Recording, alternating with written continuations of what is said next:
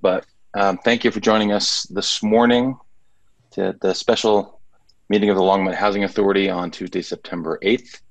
Uh, Olivia, do you mind doing a roll call for us? Sure thing. I am seeing Chairman Cameron Grant, Vice Chairman Tim Waters, Board members Harold Dominguez, Jean Christopher, Tom DeBee, Lauren Kelly, Arlene Zortman. We also have Kathy Fedler, Karen Roney, and Polly Christensen. Thank you very much.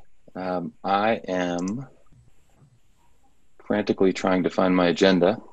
So, Olivia, if you'll remind me what the first item on the agenda is, we'll dive into that. Well, first things first, public invited to be heard, but we Oh, there we go. have anyone down here, so we're good to go on that. Thank you Um, for keeping me straight. After that, if we want to do Arlene's oath of office. Yes. Yeah, so Arlene joined us several meetings ago now, thanks to our uh, frequent special meetings. Um, but we need to start out with uh, the oath of office. And I am, my computer's still giving me fits, so I pro- apologize. Um, Councilman Waters, would you, if you have that oath available on your agenda, would you be willing to step in and administer that to Arlene while my computer wakes up? Hang on, let me see if I can. I'll get back to my agenda.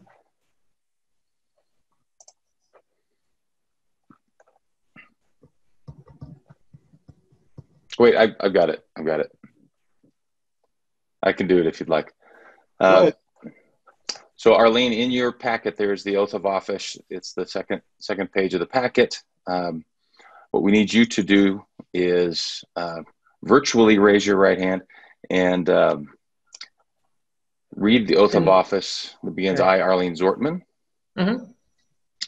Okay, I, Arlene Zortman, do solemnly swear that I will support the Constitution of the United States and the state of Colorado, and I will faithfully perform the duties of the office of Commissioner and will adhere to the governing policies for the Housing Authority of the city of Longmont, Colorado, which I am about to enter. And I, Cameron Grant, Chairman of the Housing Authority for the City of Longmont, Colorado, hereby certify that Arlene Zortman shall be one of seven commissioners of the Housing Authority for the City of Longmont, Colorado, and appeared before me on the 8th day of September 2020 and recited this oath of office for Commissioner. And then Arlene, Olivia will circulate this for signature, and then we will uh, keep this with LHA records. Okay, Excellent. Uh, second item on the agenda, which I think is the only remaining item, is our communication to the city council. And as you will recall, when we spoke at our last meeting, um, the mayor has sent a communication to me uh, asking that the housing authority speak to council at their September 15th meeting, um, specifically on the point of what value city staff members are bringing to the LHA during our IGA process. Um, and I had hoped to get a, a, a letter out earlier so you could all have more time to digest this, but I did finally put something together over the weekend that Olivia circulated. And then I'm not sure if the second round went out, but Jean had some comments. Yeah, I see that that did. Jean had some some comments as well. So that is now in front of you. So this is my attempt to address the mayor's question, um, but it is nothing but an attempt. And as I mentioned last time, my hope is that this is a communication from the authority, not from from the chair or from any individual. So, uh, would love to get your take on kind of the concept of the letter, what we should put in it, and then we can specifically try to finalize this thing. And my, since I'm working off my iPhone, I might be a little slow when you raise your hand. So, so uh, if I don't call you, just yeah, go ahead and start talking because I can only see four on the screen at a time. Why don't I start with Jean since you had some comments, Jean?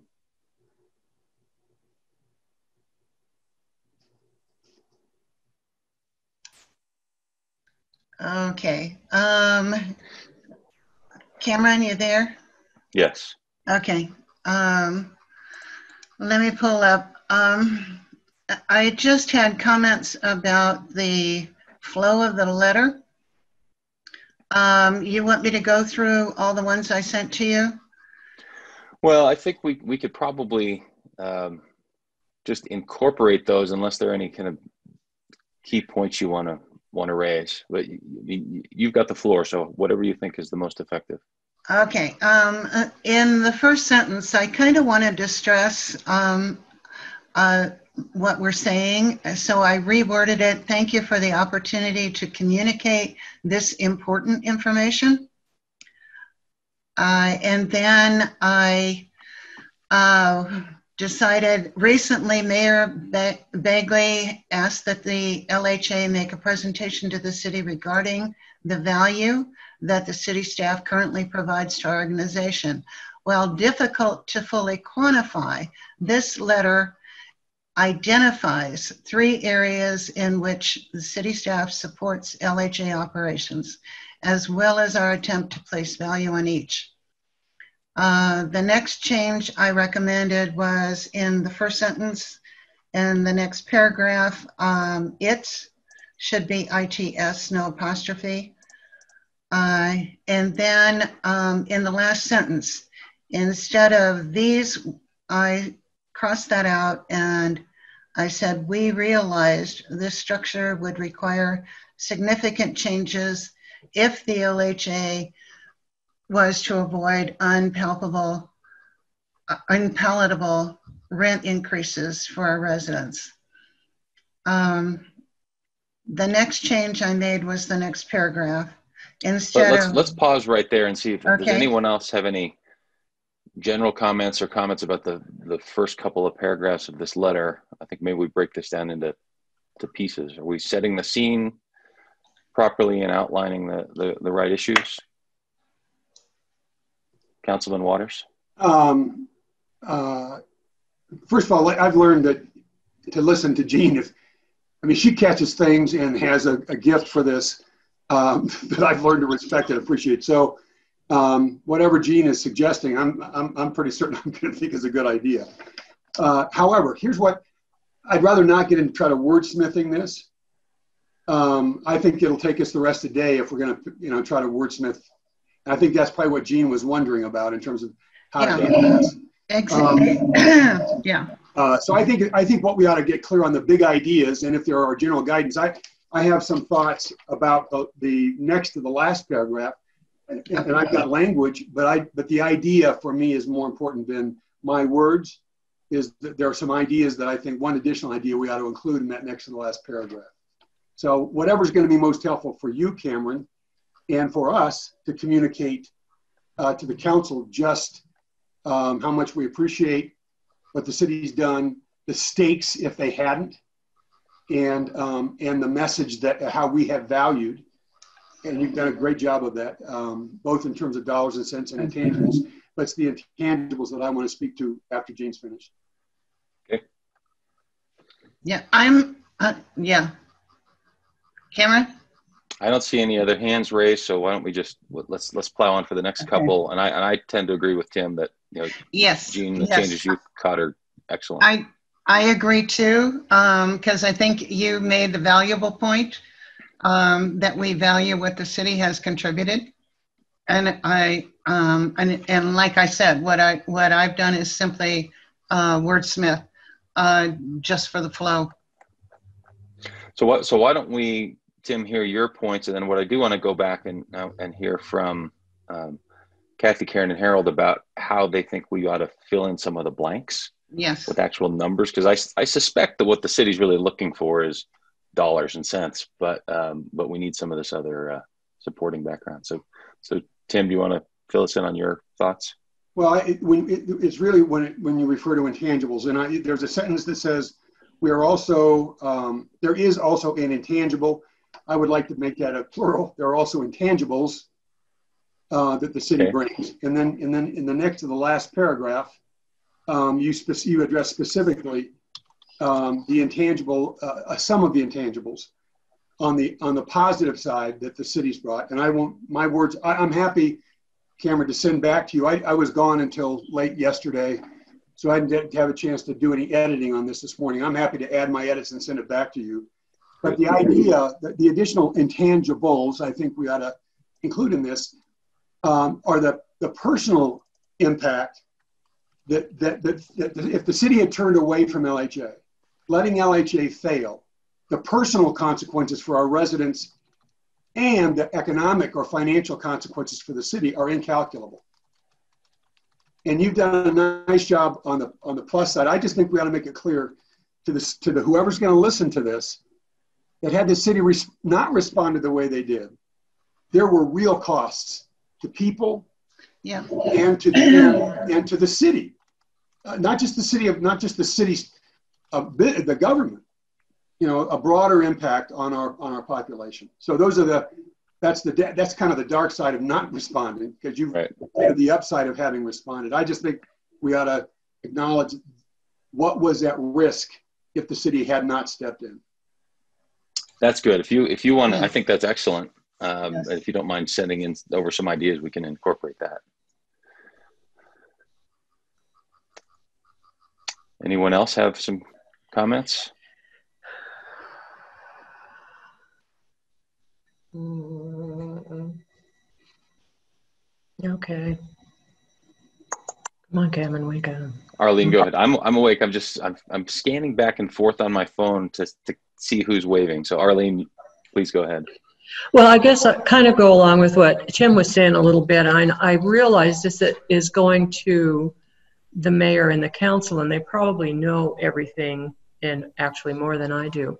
But if this were to go to the paper for some reason, I'm wondering if we need to actually put in numbers, um, kind of along Tim's thinking of how many people would actually be affected. Because I think at some point I read that there was like more than a thousand people that are being served now. And I think that's kind of important for people out in the public to know that, you know, we're doing a good job here and this is how many people would be affected if we didn't have this going on. That's just a thought.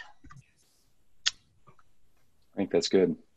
Uh, I, I don't that- know- I have that same point too, uh, Arlene. I, that, was, that was my note. Is just how how many total people would be affected if if we were say to go under, and how many how many in the city we're helping. That'd be good to have that number. That that thousand ish number. Um, that probably started with me talking with um, uh, the one of the reporters for uh, Longmont Leader, I believe, when and I, I I just took a shot in the dark and figured if we've got 450 or 462 units, many of those units have more than one person in them, and we have vouchers in the 400 to 450 range. We must be over a thousand people, but I, but I don't have an actual number, so I kind of just guessed at it because I thought it might sound powerful. But it'd be nice to have a, a more precise number if we can get that. Um, Cameron, uh, this is Polly. Um, Yep. yeah, I believe that that's where that came from because I mentioned that when we were talking about it. I said there were over 400 people, and I got that as as you said from what you said to John Fryar. So if what you said to John Fryar was kind of a ballpark, then maybe we should tighten that up. But yes, you said that we had over a thousand vouchers, and I think Right. that's. I agree with everybody that it, it's really important for people to understand how many people are, are at risk. We're at risk of not having a home, and it's winter coming on, and um, so yeah, if if you have an actual number, that would be great. But certainly, um, over 400 people is over 400 units is not a small number. I think you are yeah, right. and yeah. Yeah. And to clarify, it's two different uh, components. One are the 462 actual apartment units that we have that are filled with people, uh, and then separate from that are the vouchers, which uh, house people outside of our units. Um, so when, I, when you put those together, we've got a pretty significant number. Cameron, off the top of your head, or maybe Harold or one of the other staff members have the actual number of vouchers? Because we've discovered more. I think we had 415 or 450 vouchers. That number's come down as costs have gone up. But it would be good to have a, a, a better number on the actual number of vouchers in addition to the residents. And I would add one more thought. It's one thing for this effect to affect that thousand-ish people. It affects all the family members of Right. those thousand-ish people who are going to have to figure out what to do with their moms, dads, aunts, uncles, whoever, brothers and sisters, you know, who are now in secure housing who wouldn't be. Mhm. So we, um, Kathy may be able to help. I know that we added in a conversation with HUD, we found 40 additional vouchers. I just don't know what the starting point was. Kathy, do you know the answer to that? Um, it, it varies. so I will get a, a more definitive figure. I'm taking notes here.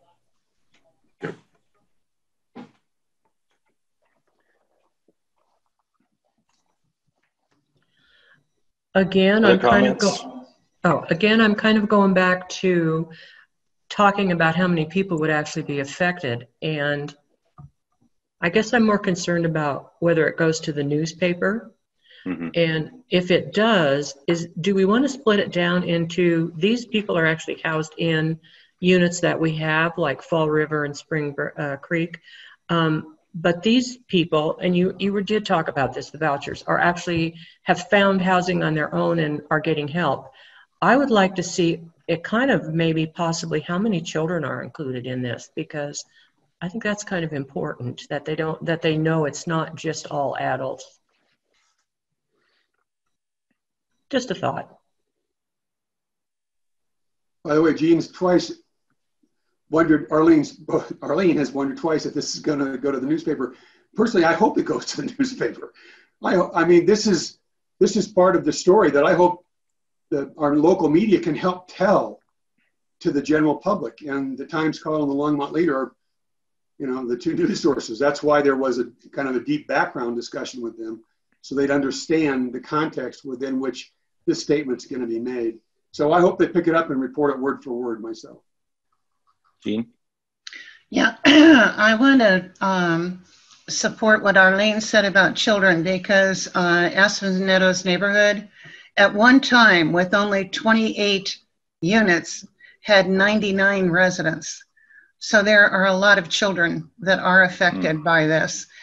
There's another aspect that's been, that I've been thinking about, even though it isn't current today.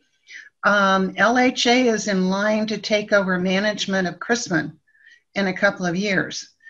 And I'm not sure how many units are involved in that too, but we have a link to even more than the thousand that we're talking about. Well, we'll collect those numbers and and uh, I'll put together another version that tries to tell that story. Um, and then Tim's going to get some some more language on that intangible piece as well. So we'll we'll we'll wordsmith that offline and then circulate that uh, through Olivia, um, so we do that properly. Uh, and then I just let me ask this question of Harold, Kathy, Karen. Um, and Olivia, the the section that's on that references specific numbers of employees and dollar amounts. I guess the first question would be: Is that information that's relatively available? And the second broader question would be: um, Any any issues or concerns with presenting that information? I mean, I think it's what they asked for, but um, once you, once you start getting into dollars, it you know people latch onto that. So this is Kathy. Um, there are seven positions that are vacant under the current organizational chart, not including what hybrid models or you know what we end up hmm moving to. Um, and the total savings after we take out um, temporary folks uh, that we have spent and that kind of thing is is just under two hundred thousand. It's one hundred ninety six thousand. so we do have that information. Um, it's just you know you tell me what you want to put in there, but I can I can fill in a lot of that information Okay. and put some parameters around it, and then you all can decide what you want to include or not include or how you want to say it.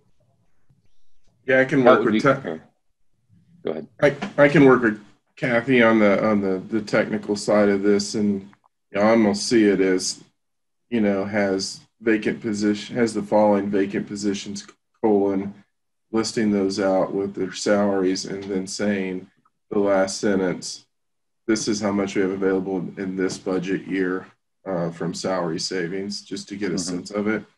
Um, because as we're prepping the budget now for you all, um, it's also good for you because um, we're going to have to do some budget restructuring in order to, to accomplish what we need to operationally.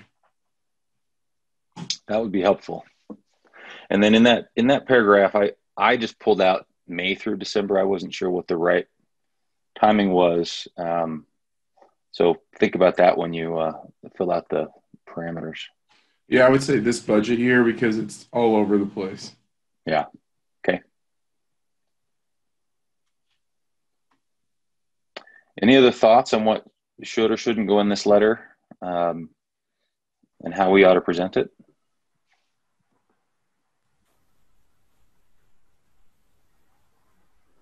Uh, Polly.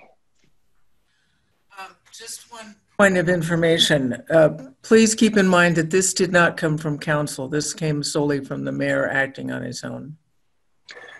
So, so would it be better? So it's it's addressed right now to the mayor and city council. Is that appropriate, or should it? Should I just? You know, I have to, Polly. We sat together in an executive session to talk about this, and this is exactly what we talked about doing. So to lay this off on the mayor this way in a public meeting, I can't sit here and be quiet. That's not accurate. Well, that's a matter for council to wrestle with. We are going to address this to the mayor and the council because that's where we've been asked to provide the information. Um, I'm just so telling you where it came from originally. Yep. I'm not trying to make okay some other statement. Thank you.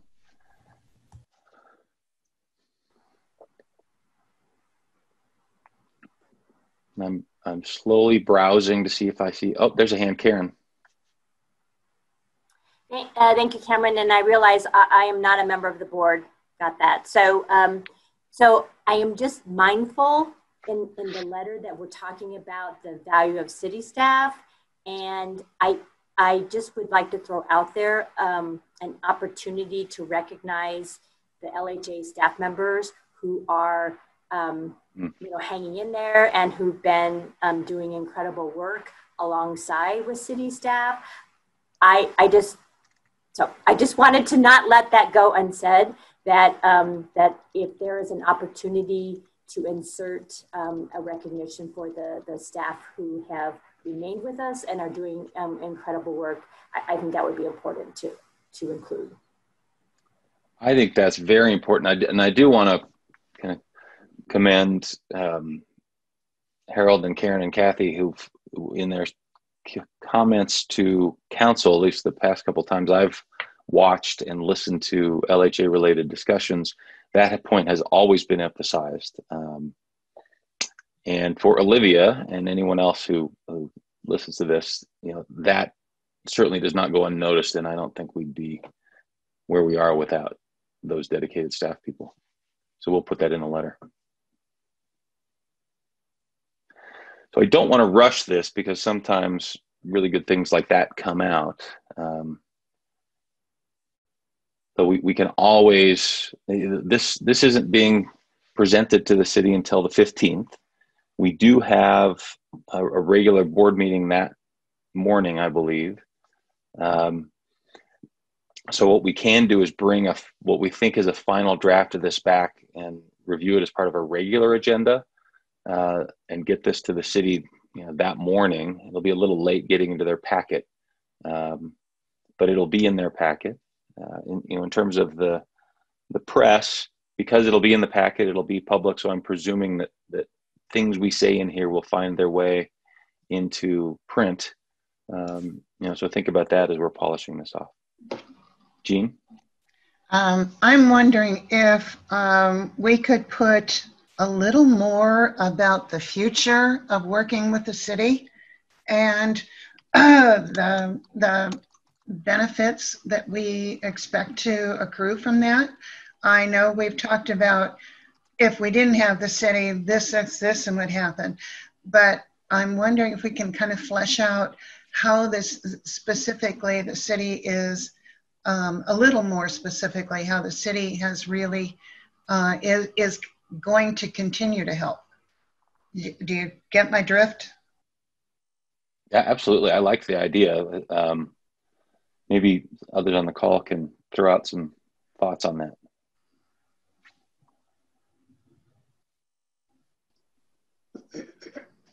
Cameron, I'm happy to try to add some of that to, to the last Okay. part of this. I'm gonna I'm gonna provide some editorial input. You decide what you want to do with it to the end of the letter, and I'll I'll add something if that's helpful, and then you know you can send it out for another round of review. Sounds good.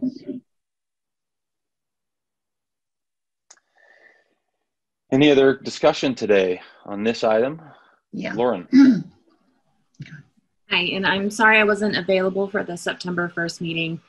Um, so I've, I've kind of just been sitting back listening um, since I wasn't really involved in how this all got started. But, um, you know, hearing some of the concerns about like the newspaper picking this up and how much information should we put in, um, my thought was just knowing what has gone on with the LHA and, and the press in the past. I think this is a great opportunity like others have said, to, to really bring out all of this information, be really open and transparent about what we were facing, what we hope for, and what our main goal Yeah. is, and trying to do the right thing for our residents and for the city, for the city population as a whole. Um, I, I do think it would be great to put in as much detail and information to be as transparent as humanly possible about this so that people don't think that we're hiding anything um, I working for the county for eight years. I know that as soon as you start being vague about things, that's when the CORA requests start rolling in because people think you're hiding stuff. So I think this is a great opportunity for us to really put it all out there and say, this is a new board. We have new members, new leadership, new um, new mission, new partnership with the city of Longmont, new visions, new goals, and we're really holding ourselves up to a much higher standard than in the past. And I think that will help give the residents that we serve and then the larger population of city of Longmont um, more faith in what we're doing. Um, just because knowing what has happened in the past to now, I think we're in such a good direction. And I think the leadership that we have and the leadership coming from City of Longmont, this it's so important. And I think that that just needs to be communicated. And I'm fully on board with with everything. With yes, I absolutely agree that the city employees should be compensated for the amazing and tireless work that they are doing because there's I mean, they're doing like three full time jobs now. So just wanted to put that out there since I wasn't here last week. Um, and I don't know if I if we're voting on anything, if I need to abstain since I wasn't part of the conversation, but let me know. Um, but yeah, I fully support where we're headed. And I, I think with the additions that we've discussed this morning, I think it'll be a great a great presentation for the, the mayor and the council and to the greater population. Thank you. That's that is a good uh, good reminder about kind of the importance of transparency and detail because it's going to be picked up. So I, I, I appreciate that. Um, in terms of voting or not voting, my, my, thought, unless someone has a different opinion, is that this is more of a um, kind of study session level uh, meeting today where we're trying to craft this into a, a form that we could vote on. Okay. Um, and then and hopefully have it in final form at our next meeting uh, to, to polish off and get it off to the city. Okay, thank you. All right, so I will I'll keep talking while I'm scanning for hands, but my thought is that the next step is for um, several of us to put some additional comments in here. To uh, Dr. Waters is going to send some some language. Um, uh, Kathy has some some input on specific figures. Uh, you can send those to me if you'd like, and I'll craft another version and get it back to Olivia for circulation. Hopefully, earlier than the night before our next gathering, um, and then we can uh, review this as part of our next agenda. That sound like a good plan? All right. Looks like it's the plan. Is there any other business that anyone would like to uh, to discuss since we are all together? Harold. Yeah, uh, board members, I just wanted to uh, update you on something that happened Friday. I did call Cameron Friday evening to leave a quick message. We had a, uh, just in case you all hear it, uh, we had a small fire at the lodge um, and uh, wanted to, to let you know what happened. So, um, without getting into specifics of how, it looks like a box got caught, was set on a stove that was with a burner. Um, and then the box was moved into different different areas of the unit. Um, the sprinkler system did work, um, so there was a fair amount of smoke damage from in, in the unit itself and potentially in the hallway. Uh, but when the sprinkler went off, it managed to flood um, the second floor on the left side as you're walking in, and then it went down into the first floor. So during that event, we actually um, called 24 7, who's the restoration company that we work with. Uh, we needed to relocate approximately, um, I believe it was nine individuals. Um, we worked to to get them um, into Candlewood Suites because they have small kitchenettes in there and they could move their food and actually cook there like they would in their in their unit, um, so that we could get the drying um, occurring in the wall. Um, last night or yesterday afternoon, I was informed that the drying's going well. So we will know hopefully in a couple of hours um, based on who can move back in. Uh, we do have two units in particular that will probably be um, out of um, where they won't be able to go back in right away. The one where it occurred based on the water damage and the smoke damage, and then the one below it where there was a, a significant amount of water damage but we'll know that today. Um, we were able to move through it. Um, we were moving pretty quickly Friday. Want to thank uh, Dennis and his maintenance staff and Michelle Wait and her senior service staff um, and uh, Tracy and Karen and Kathy as everyone was making calls trying to get people relocated. We actually did that. Um, I think we had everyone um, move to the um, hotel trying to remember what time I left around six o'clock. At that point, everyone was already at the hotel. Um, I know they've been working with them, but I just wanted you all to be aware of it. Um, things seem to, to move quickly and as, as well as could be expected. And hopefully today we will get people moved back into their units. Obviously, with the weather, some may not want to drive, so I'm going to be working with them to get transportation back and then see how we can get their cars moved back to the facility. So, as if you didn't have enough to do already, we had a pre-weekend fire drill, literally. No, it was, it was actually for me. I, it was um, it was really good for me to get to work with um, Elliot and Olivia. I mean, Olivia was on the phone with me making hotel reservations and doing all of that, and it was a great opportunity for me uh, to work with them at, at this level um, and be at the facility and see how they respond. And um, everyone did a phenomenal job moving pretty quickly. Um, and it was just it was a good it was a good opportunity Friday for all for all of us to work with each other in a stressful situation where you have to move fast. That's the the beginnings of how you build a team um, and how we integrate with each other. And um, they did a great job. I didn't call you all because we had it handled. We had it handled. Um, um, so, so and, and we were moving pretty quick. But um, had it have been worse, you may have gotten a phone call from me if it would have been a more significant event. But we, um, by Friday afternoon, it was really water damage that we were dealing with um, at the end of the day. Kathy, Karen, do you need to add anything to that? I, would just add um, mention for Brittany. Oh, Brittany, yeah. Manager. Yeah, Brittany did a great job in this, and, and again, a good learning moment for her. Um, obviously, can't remember everyone that was there. It was moving so fast, but everyone that was involved did a great job.